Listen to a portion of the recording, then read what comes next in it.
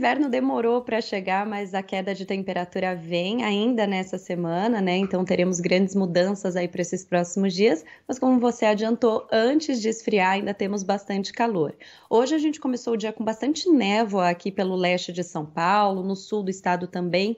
Vai desde o Vale do Ribeira, passando pela Grande São Paulo, litoral, Vale do Paraíba. Então, todas as regiões ainda com muitas nuvens, né, espalhadas, mas aos pouquinhos o sol vai aparecendo agora para o meio da manhã. E conforme o sol vai aparecendo, as temperaturas vão subindo. Então, para hoje, não tem muita diferença em relação a ontem. A máxima na capital é de 26 graus, o litoral também fica bem parecido, no interior, máximas de 28 até 32 graus, não tem chuva em nenhuma região ainda, o período da tarde continua muito seco, principalmente para quem está no interior, mas aqui na Grande São Paulo também, baixos índices de umidade, continuamos com essa dificuldade para respirar. Aí amanhã começa a mudar o tempo. Amanhã vai ser o dia mais quente, já a gente vai se aproximar dos 30 graus amanhã. A máxima é de 29 na cidade, é mais um dia de muito sol, ainda não vai chover, só que já começa a ventar. A gente vai perceber bastante amanhã aquele vento forte acontecendo ao longo do dia, que já é a aproximação de uma frente fria, né, que está associada a um ciclone. O ciclone ajuda a provocar bastante vento.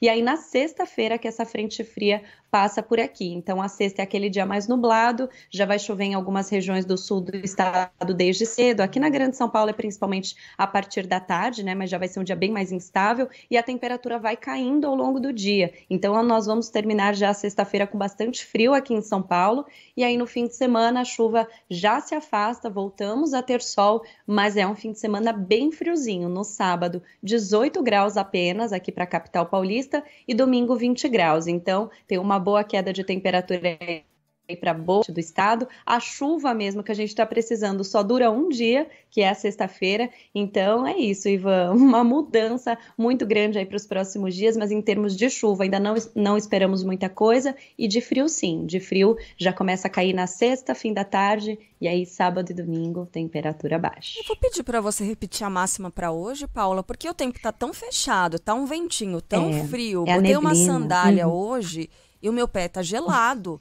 Então, assim, não, não mas quando você sair vai estar tá quente. É. Uhum. Hoje a máxima é 26. Ô, oh, gente, tá bom. Você acredita? Você acredita? vamos ver. A gente vai tirar a prova, tirar uma foto do termômetro